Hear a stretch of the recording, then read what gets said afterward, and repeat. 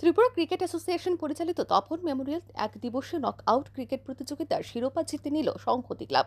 প্রতিযোগিতার ফাইনাল ম্যাচে আগরতলা শহরের এমবিবি স্টেডিয়ামে বৃহস্পতিবার মুখোমুখি হয় কসমোপলিটন ও সংহতি একশো চৌত্রিশ রানের বিশাল ব্যবধানে কসমোপলিটন ক্লাবকে এদিন ম্যাচে পরাজিত করে দু হাজার তেইশ ও চব্বিশ তপন মেমোরিয়াল নক আউট খেতাব নিজেদের করে নিয়েছে সংহতি ক্লাব। শিরোপা দখলে লড়াইতে নেমে এদিন প্রথম ব্যাট করে সংহতি সাতচল্লিশ ওভার দুই বলে সবকটি উইকেট হারিয়ে মোট দুশো তেইশ রান সংগ্রহ করে তারা। দলের হয়ে সর্বোচ্চ একষট্টি রান করেন ব্যাটসম্যান শ্রীদাম পাল। এছাড়া অরিন্দম বর্মন করেছেন ছাপ্পান্ন রান ও সম্রাট সূত্রধর করেছেন উনচল্লিশ রান।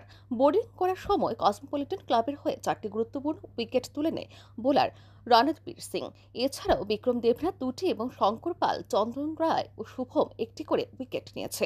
পরের ইনিংসে সংহতি ক্লাবের দেওয়া দুশো চব্বিশ রানের জয়ের লক্ষ্যে তারা করতে নেমে শুরুতে ব্যাটিং বিপর্যয়ের শিকার হয় কসমোপলিটন একের পর এক উইকেট হারিয়ে বাইশ ওভার পাঁচ বলে মাত্র উননব্বই রানেই থেমে যায় তাদের ব্যাটিং ইনিংস অপরাজিত থেকে দলের হয়ে এদের সর্বোচ্চ বত্রিশ রান করেছে ব্যাটসম্যান চন্দন রায়।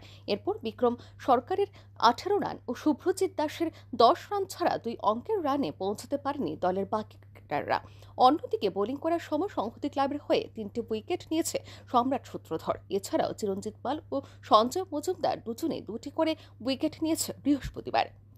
ব্যুরো রিপোর্ট আর ই নিউজ।